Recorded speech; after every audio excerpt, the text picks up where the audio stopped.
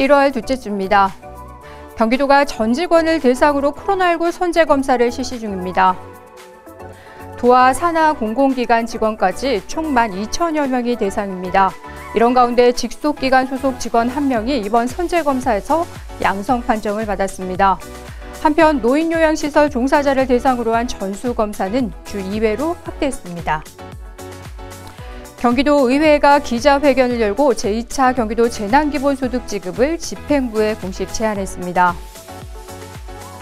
코로나19 사태가 장기화됨에 따라 2차 재난기본소득을 요구하는 목소리가 커지면서 도의회에서 제안을 먼저 공식화했습니다. 경기도가 가진 기금 등을 활용하면 지방채 발행 없이도 예산을 마련할 수 있다고 했습니다. 이재명 지사는 지금 여부와 규모, 대상, 시기 등을 도민과 공동체 입장에서 숙고하겠다고 즉각 화답했습니다. 이재명 지사가 반려동물은 사지 말고 입양해야 한다며 경기도 차원의 개농장 실태 조사로 관련 대책을 마련하겠다는 뜻을 밝혔습니다. 파주시에 있는 동물보호복지시설 더봄센터를 방문해서 한 말인데요. 특히 개농장 문제와 관련해 공장식 생산을 통해 매매하는 것을 금지하고 분양을 책임질 수 있는 사람에게 자격 면허를 줘 엄정하게 관리해야 한다고 언급했습니다. 여의도 면적의 약 3.5배에 달하는 경기도 내 군사시설 보호구역이 해제 결정됐습니다.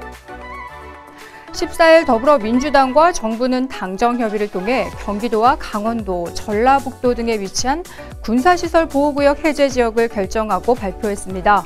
경기도의 경우 파주시와 고양시, 양주시, 김포시 등 경기 북부 접경 지역에 위치한 시군들이 대거 포함됐습니다.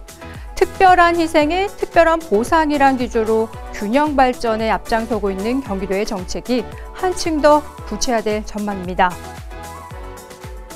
경기도가 퀵서비스 기사나 음식 배달 라이더 등 배달 노동자들의 산재 보험료를 지원하는 사업을 새롭게 구상해 내놨습니다. 배달 노동자들이 안전한 환경에서 일할 수 있도록 대책 마련이 필요하다는 목소리 점점 높아지고 있죠. 경기도는 경기도 일자리재단과 협력해 올해 3월부터 지원을 시작할 것이라고 했습니다.